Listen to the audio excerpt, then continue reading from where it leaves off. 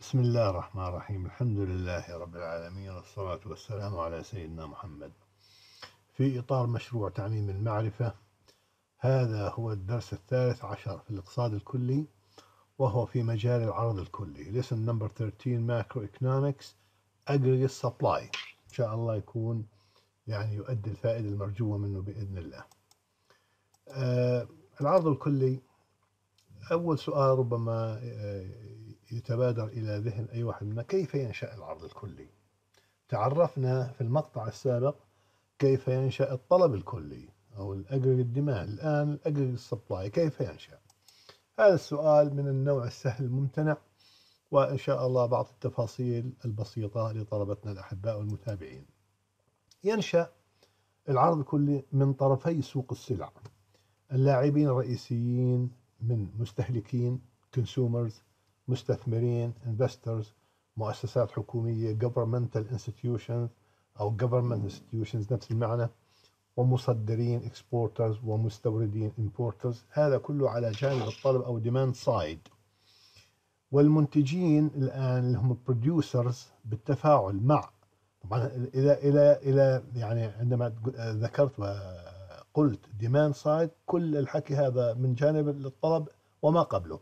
الآن من جانب المنتجين producers آه، بالتفاعل مع مدخلات الإنتاج اللي هي production inputs من أرض آه، آه، وعمالة طبعا أرض لأن عمالة labor رأس المال الحقيقي اللي هو ك real capital وتنظيم organization في جانب العرض. في جانب العرض. الآن سأدخل مفهوم جديد وبخاصة لطلبتنا السنة الأولى والثانية اللي هو دالة الإنتاج Aggregate Production Function. دالة الإنتاج. دالة الإنتاج تمثيل بياني فقط لا غير على المحور الأفقي اللي هي مدخلات الإنتاج أرض عمل رأس مال حقيقي. الآن في عندما نتقدم في مساق الاقتصاد الكلي سنذكر هنا أنه فقط عمالة أو رأس مال لكن هنا للطلبة في السنة الأولى والسنة الثانية اللي هو مبادئ الاقتصاد الكلي لابد من أن نذكر أنه كل مدخلات الإنتاج هي المشمولة هنا في دالة الإنتاج. على المحور العمودي المقابل كمية الإنتاج من كل السلع والخدمات. الآن هذه دالة الإنتاج بمعنى آخر هذه هذا المنحنى يمثل لي كميات الإنتاج المختلفة كلما زادت كميات مدخلات الإنتاج من أرض وعمالة ورأس مال حقيقي وتنظيم مع يعني بقاء العوامل الأخرى المؤثرة ثابتة فإن الإنتاج يزداد باضطراد يتسارع في بداية الأمر ثم يأخذ بالهبوط نتيجة لقانون ما يسمى بتناقص الغلة أو تناقص الناتج الحدي. أوكي؟ الآن هذه دالة الإنتاج الأولى إذا ارتفعت أسعار أسعار السلع التي يبيعها المنتجين مع بقاء مع بقاء الآن العوامل المؤخرة المؤثرة الأخرى ثابتة فإن ذلك يحفز المنتجين على زيادة الإنتاج. إذا ثبتنا كل العوامل الأخرى الآن عندما ترتفع الأسعار معنى ذلك أنه المنتج بيكون عنده حافز أن يزيد الإنتاج حتى يكسب ربح أكثر. وبالتالي هذا يؤدي إلى زيادة الإنتاج بمعنى آخر في عندي دوران في منحنى الإنتاج. هذا دالة الإنتاج.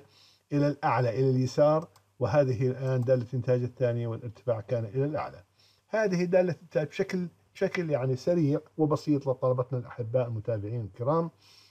أنه عندما ترتفع أسعار آه، السلع التي يبيعها المنتجون فإن ذلك يحفزهم على زيادة الإنتاج. العرض الكلي الآن. عندما ترتفع الأسعار مع بقاء العوامل الأخرى ثابتة. تزداد كمية الإنتاج كما ذكرت سابقا. فيرتفع الدخل. هلا الإنتاج مضروب في مستوى الأسعار؟ معناه يساوي الدخل. إذا ارتفع الدخل الآن ترتفع كمية العمالة الموظفة في الإنتاج ما يؤدي إلى ارتفاع الأجور والإنتاجية وبالتالي العرض الكلي. ولأن الأجور في الأمد القصير وسأفصل الآن وأفرق بين الأمدين القصير والطويل فلأن الأجور في الأمد القصير ثابتة إلى حد ما. بقدرش يعني المنشآت لا تستطيع أن تغير آه، أسعار أسعار عوامل الإنتاج وبخاصة مثلا أجور العمال في الأمد القصير لأنها خلاص ثابتة الآن والتزمت فإن إلى حد ما فإن آه، العلاقة بين مستوى الأسعار والعرض الكلي تكون موجبة كما في الشكل التالي. الآن على المحور الأفقي الدخل مستويات الدخل Y.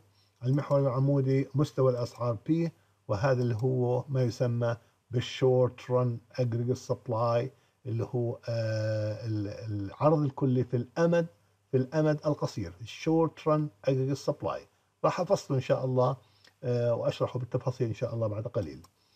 الآن العرض الكلي العوامل المؤثرة في العرض الكلي تكاليف الإنتاج بما فيها كلفة المواد الخام والوسيطة والعمالة. هاي إذا ارتفعت تكون طبعا يؤثر سلبيا هاي الإشارة السالبة.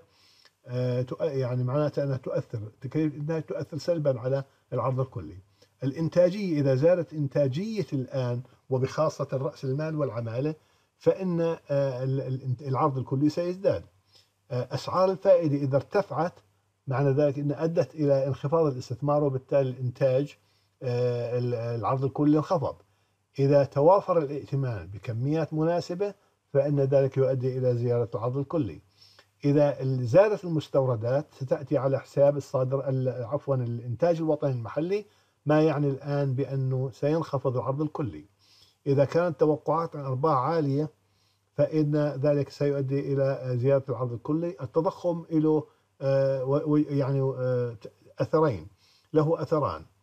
ممكن في بعض الحالات يؤدي إلى زيادة العرض الكلي وبعض الأحيان إن شاء الله آه، سأفسرها طبعا بالمستقبل إن شاء الله.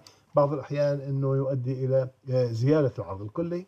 أما الضرائب الآن فإن أثرها آه، إذا ارتفعت فإن أثرها سالب على العرض الكلي. سأفرق الآن بين نوعين من العرض الكلي. في الأمد القصير اللي هو Short Run Aggregate Supply SRAS اختصار Short Run Aggregate Supply هو ما تنتجه أو ما يمكن أن تنتجه الآلة الاقتصادية بمعنى الاقتصاد كله. في الأمد القصير فقط وتكون العلاقة بين العرض الكلي ومستوى الأسعار طردية مباشرة. أي كلما ارتفع مستوى الأسعار زاد العرض الكلي.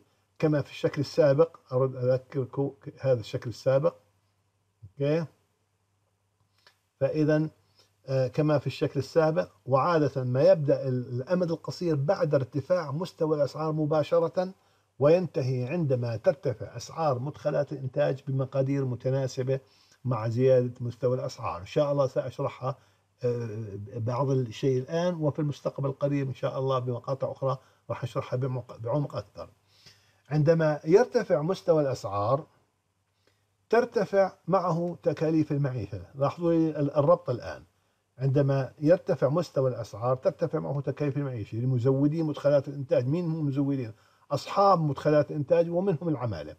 في هذه الحالة يشعر هؤلاء المزودون بارتفاع تكاليف المعيشة ما يدفعهم نحو المطالبة بزيادة البدلات التي يتقاضوها مقابل مدخلات الإنتاج التي يبيعوها ويكون مقدار الزيادة في أسعار مدخلات الإنتاج متناسبا مع مقدار الزيادة في مستوى الأسعار.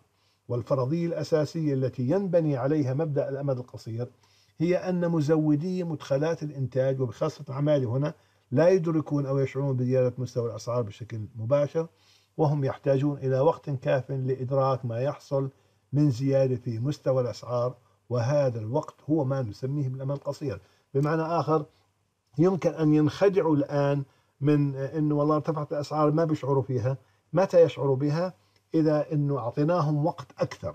ففي الأمد القصير لا يشعر مزودو الخدمات بخصم العمالة بزيادة الأسعار.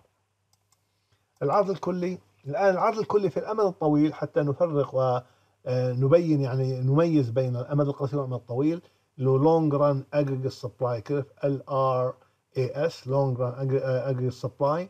يمثل العرض الكلي في الأمد الطويل كمية الإنتاج الذي تزوده أو يمكن أن تزوده الآلة الاقتصادية بمعنى الآخر الاقتصاد كله.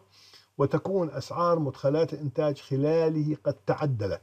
الآن إذا أعطينا وقت الآن لأسعار مدخلات الإنتاج وقت كافي تتعدل فيه وتكيفت. طبعا مع الزيادة اللي حصلت في المستوى التي حصلت في المستوى العام لأسعار السلع النهائية وخلال الأمد الطويل تكون أسعار السلع النهائية قد قابلها ارتفاع مكافئ في أسعار مدخلات الإنتاج وتصبح كمية الإنتاج في هذه الحالة مستقلة عن مستوى الأسعار كما في الشكل الآتي. على المحور الأفقي الآن الدخل هو الإنتاج وعلى المحور العمودي مستوى الأسعار وبالتالي بكون الآن ال aggregate supply curve في ال long run long run aggregate supply بكون vertical يعني عمودي على الأفق ما يعني أنه مهما حصل الآن من زيادة في الأسعار مهما كان مستوى الأسعار فإن ال aggregate supply curve بيكون عمودي على الأفق لا زيادة فيه. التغيرات الممكنة في العرض الكلي ينتقل العرض الكلي في الأمدين القصير أو الطويل إلى اليمين أو اليسار. تعني الإزاحة إلى اليمين بأن المنتجين على استعداد لتزويد السوق بكميات من السلع أكثر من ذي قبل عند مستويات الأسعار السائدة. الانتقال إلى اليسار لاحظوا هون انتقال اليمين انتقال اليسار فيعني بأن المنتجين على استعداد لتزويد سوق كميات السلع أقل من ذي قبل عند مستويات الأسعار السائدة. لا تحدث التغيرات في العرض الكلي نتيجة للتغير في مستوى الأسعار بل تحدث نتيجة لعاملين اثنين هما الأول تغير أسعار مدخلات الإنتاج كما ذكرت سابقا الثاني حدوث نمو اقتصادي economic growth. أوكي يؤدي ارتفاع انخفاض أو انخفاض أسعار مدخلات الإنتاج إلى انخفاض أو ارتفاع العرض الكلي. وعلى سبيل المثال يؤدي ارتفاع أجور العمالة إلى زيادة تكاليف الإنتاج. وفي غياب أي مؤثرات أخرى معاكسة تؤدي الزيادة في تكاليف الإنتاج إلى انخفاض العرض الكلي. وقد يحدث العكس أي تنخفض أجور العمال ما يؤدي إلى انخفاض في تكاليف الإنتاج ومن ثم زيادة في العرض الكلي. يؤدي النمو الاقتصادي إلى إزاحة تامة إلى اليمين في منحنى إمكانيات الإنتاج. هذا مختصر ميم كاف نون منحنى إمكانيات الإنتاج ل PPC Production Possibility Curve كما ذكرت في أحد المقاطع السابقة. فيؤدي النمو الاقتصادي إلى إزاحة تامة اليمين في منحنى إمكانيات الإنتاج وذلك نتيجة لتبني تقنيات إنتاجية مطورة أو تحسن في الإنتاجية الاقتصادية بشكل عام. ما يعني زيادة في العرض الكلي؟ وقد يحدث العكس أي انخفاض النمو نتيجة لدهور الأوضاع الاقتصادية وتراجع الإنتاجية ما يؤدي إلى انخفاض العرض الكلي. تمثيل بياني العرض الكلي في الأمدين القصير والطويل.